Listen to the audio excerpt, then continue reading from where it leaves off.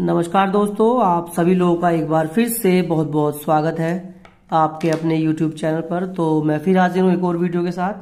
तो आज की अपनी इस वीडियो में हम देखेंगे जो प्रमोशनल एग्ज़ाम था कंप्यूटर ऑपरेटर ग्रेड ए का। उसका एग्ज़ाम जो है, कल दो तारीख में लखनऊ में आयोजित किया गया था। तो उसके एग्ज़ाम के ऊपर हम किस तरह के क्वेश्चन आए थे, किस सेक्शन से कितने क्वेश्चन आए थे तो उसका एक हम रफली आइडिया लेंगे, क्योंकि पूरा जो आइडिया लगेगा, वो जब आंसर की आ जाएगी, उससे ही क्लियर होगा। फिर भी हम कोशिश करेंगे कि रफली आइडिया लेने का, कि किस सेक्शन में से कितने क्वेश्चन आए, किस तरह के क्वेश्चन आए तो उससे आपको आइडिया लग जाएगा कि कैसा एग्ज़ाम जो है, वो आपका होने वाला है।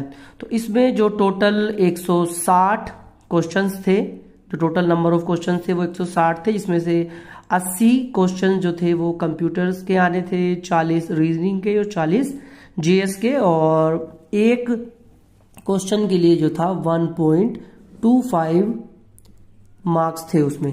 तो मगर जो क्वेश्चंस आए हैं उससे जैसा लग रहा है, अभी पूरे काउंटिंग तो नहीं की, मगर जो लग रहा है कि नब्बे नब्बे के लगभग जो क्वेश्चन थे वो कंप्यूटर से थे और पैंतीस पैंतीस जो क्वेश्चन थे वो रीजनिंग और जीके जीएस से थे।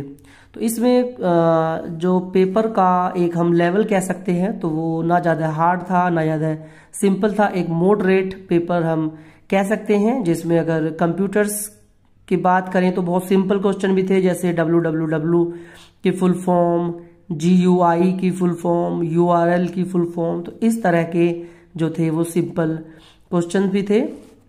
अगर इसमें कंप्यूटर में सेक्शन की बात करें कि किस सेक्शन से कितने क्वेश्चन थे तो सबसे ज़्यादा जो बुलियन एल्जेब्रा है, जिसमें एक्सप्रेशंस होती है हमारी सम ऑफ़ प्रोडक्ट और प्रोडक्ट ऑफ़ सम तो उससे लगभग आठ से दस क्वेश्चंस थे केवल बुलियन एल्जेब्रा से क्वेश्चन एक्सप्रेशन सोल्व करने वाले, उन्हें मिनिमाइज करने वाले तो लगभग आठ से दस क्वेश्चन थे बुलियन एल्जेब्रा से। उसके बाद नेटवर्किंग से क्वेश्चन थे, चार से पाँच चार से पाँच इससे क्वेश्चन थे, जो डायरेक्शन के क्वेश्चन आते हैं हमारे, कि इस दिशा में गया, फिर इधर मुड़ा, फिर इधर मुड़ा तो उससे लगभग पाँच से छह क्वेश्चन थे। शेडो वाले दो क्वेश्चन थे कि इसकी शेडो इधर बन रही है, इसकी शेडो इधर बन रही है। रिलेशन संबंध जो होते हैं, उनसे चार क्वेश्चन थे। और डीबीएमएस डीबीएमएस से चार से पाँच क्वेश्चन थे, जो यूपी की जीके है। यूपी की, कि, किस राज्य में कौन सा आयोजन हुआ, किस सम्मेलन का आयोजन किया गया, उससे लगभग चार से पाँच क्वेश्चन थे। साइंस से इस बार एक भी क्वेश्चन नहीं आया था, ना फिजिक्स केमिस्ट्री और बायोलॉजी से एक भी क्वेश्चन इसमें नहीं था। एक क्वेश्चन ओलंपिक से था और सम्मान से रिलेटेड जो पुरस्कार मिलते हैं, उससे एक क्वेश्चन था। दो क्वेश्चन शायद हिस्ट्री के थे। बाकी जब आंसर की आएगी तो उससे पूरा क्लियर हो जाएगा। बाकी जो उम्मीद थी कि M S word M S excel और पावर पॉइंट से भी क्वेश्चन आए तो M S word M S excel से एक भी क्वेश्चन नहीं था। पावर पॉइंट से केवल एक क्वेश्चन था। तो इस तरह से क्वेश्चंस जो थे, वो आए हैं। बाकी इसमें अगर जीएस में आपको बता दूँ कि किस तरह के क्वेश्चन थे तो कुछ क्वेश्चन जो याद हैं, वो इस तरह से थे कि सर्वप्रथम मानव ने किस धातु का प्रयोग किया था? तो ये वाला क्वेश्चन था, तांबे का प्रयोग किया था सबसे पहले। असहयोग आंदोलन कब वापस लिया गया था? इस तरह के क्वेश्चन थे। क्रांति की माता किसे कहा जाता है? वो मैडम बीका जी कामा तो ये वाला क्वेश्चन था। जी ट्वेंटी की आधिकारिक भाषा कौन सी थी? इंग्लिश फ्रेंच स्पेनिश इनमें से कोई एक या फिर तीनों तो ये तीनों ही जी ट्वेंटी की आधिकारिक भाषा थी। और सबसे ज़्यादा इंटरनेट के यूज़र वाला राज्य कौन सा है? तो वो महाराष्ट्र था। सबसे ज़्यादा काजू उत्पादन वाला राज्य कौन सा था? वो आ, केरल है। वाराणसी में क्रिकेट स्टेडियम कौन बना रहा है? ये क्वेश्चन था जिसमें कि क्रिकेट स्टेडियम किसके द्वारा बनवाया जा रहा है? यूपी सरकार केंद्र सरकार बीसीसीआई या फिर ए और बी दोनों। तो ये आप पर नेट पर सर्च कर सकते हैं, इसका सही आंसर क्या है? उसके बाद ओलंपिक से था कि 2028 का ओलंपिक का आयोजन कहाँ होगा? तो ये वाला भी क्वेश्चन था, उसका आंसर लॉस एंजलिस है। तो इस तरह के क्वेश्चन थे, इस तरह से जो था क्वेश्चन का बाइफर्केशन था कि कंप्यूटर्स के क्वेश्चन थोड़े ज़्यादा थे in comparison to reasoning and GK और बाकी इस लेवल का ये एग्ज़ाम था, और जो पूरी पिक्चर जो क्लियर हो पाएगी कि किसके कितने मार्क्स हैं, क्या मेरिट बनेगी और किसका प्रमोशन होगा, किसका नहीं होगा, वो बाकी जब या एक या दो दिन में आंसर की आ जाएगी तो वहाँ से पता चलेगा। आइए कुछ कंप्यूटर्स के क्वेश्चन देखते हैं। कंप्यूटर्स के कुछ किस तरह के क्वेश्चन आए थे तो वो मैं आपको दिखा दूँ। कंप्यूटर के कुछ जो बुलियन एल्जेब्रा में से थे, वो इस तरह के क्वेश्चन थे the commutative law of addition and multiplication indicates that ये उसके ऑप्शन थे, और इस तरह से क्वेश्चन थे, और और देखते हैं कौन से क्वेश्चन थे। कुछ इस तरह के क्वेश्चन थे। In Boolean algebra the word literal means क्या है? इसका आंसर डी है वेरिएबल और इट्स कॉम्प्लीमेंट ये क्वेश्चन थे। इसके अलावा रीजनिंग में कुछ इस तरह के क्वेश्चन भी थे।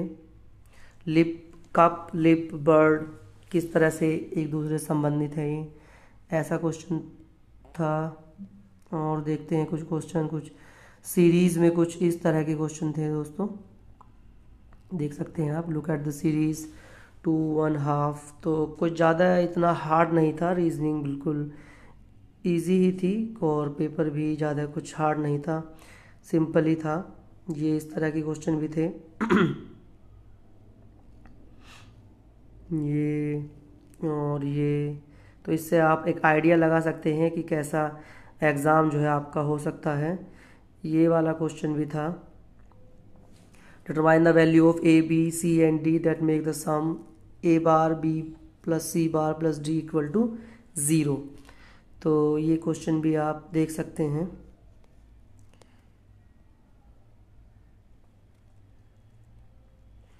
ये क्वेश्चन भी था which of the following expression is in the sum of product form तो ये आप अंदाज़ा लगा सकते हैं।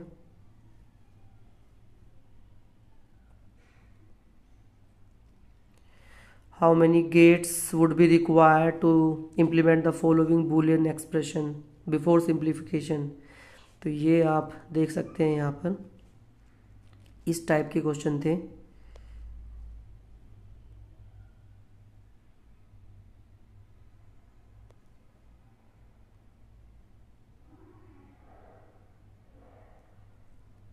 ये था। Use Boolean algebra to find most simplified S O P expression of F equal to A B D plus C D plus A C D A B C A B C D इस तरह के question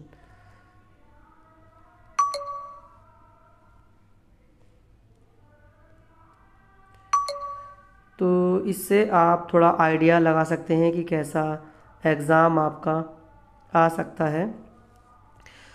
तो दोस्तों, इस तरह से तो इससे आपको थोड़ा बहुत आइडिया लग गया होगा कि कैसा एग्ज़ाम था, किस तरह के क्वेश्चंस आए थे। बाकी आप अपनी तैयारी करते रहिए, बहुत जल्द आपके एग्ज़ाम की डेट भी आ जाएगी। आई होप आप लोग अच्छे से तैयारी कर रहे होंगे। फ्रेंड्स, आज की वीडियो में इतना ही। मैं फिर हाजिर हूँ एक और वीडियो के साथ। वीडियो देखने के लिए बहुत बहुत धन्यवाद। जो लोग चैनल पर नए हों, चैनल को सब्सक्राइब, वीडियो को लाइक और शेयर ज़रूर कर दें। मैं फिर हाजिर होऊँगा एक और वीडियो के साथ। तब तक के लिए आप सभी लोगों का बहुत बहुत धन्यवाद।